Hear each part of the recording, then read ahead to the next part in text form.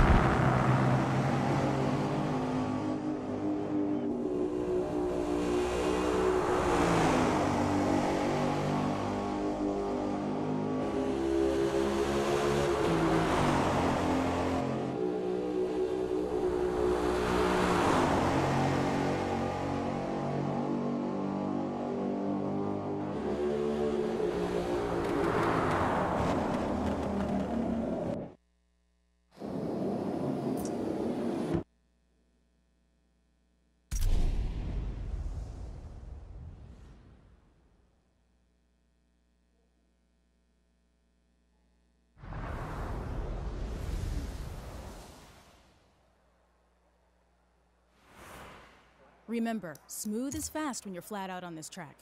Excessive tire wear early will hurt your chances to win later. You got this.